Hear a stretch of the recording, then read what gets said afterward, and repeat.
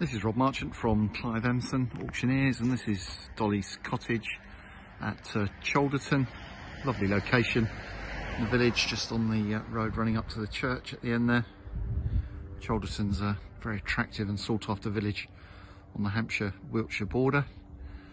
There's planning consent for significant extension to Dolly's cottage if that's what the new owners decide they'd like to do but uh, existing two bedroom accommodation which may well equally suit the new purchaser subject of course to their uh, own requirements. So Dolly's cottage at Cholderton. Let's go inside and see what the uh, internal accommodation has got to offer.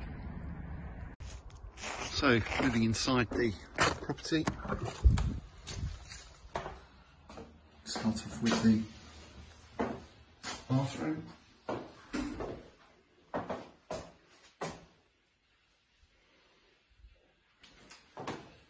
out into the kitchen, which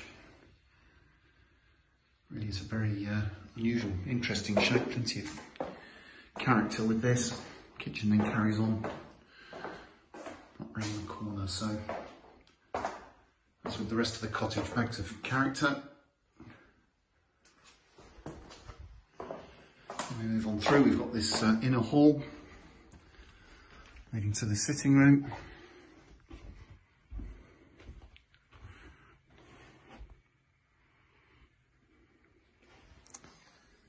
Again, further in the hall, leading on to the two bedrooms, which form the existing accommodation.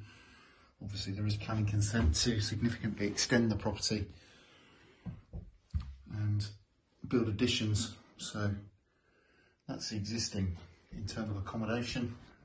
But as mentioned, scope to add and improve if that's what's desired by the new owners. And then outside of the property to the rear, very attractive plot.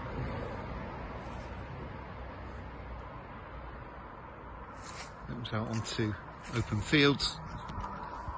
And then we've got this large timber store, potential scope I guess for an annex if required, workshop, office at home, do with it what you will once you've uh, bought the property.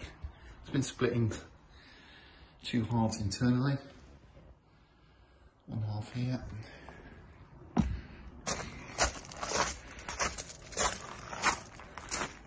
And the left hand side, more of a workshop come store. Again, good scope and potential for anyone working from home or running a business.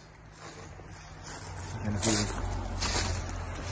back to Dolly's Cottage, which is available in the next Clive Emson online land and property auction.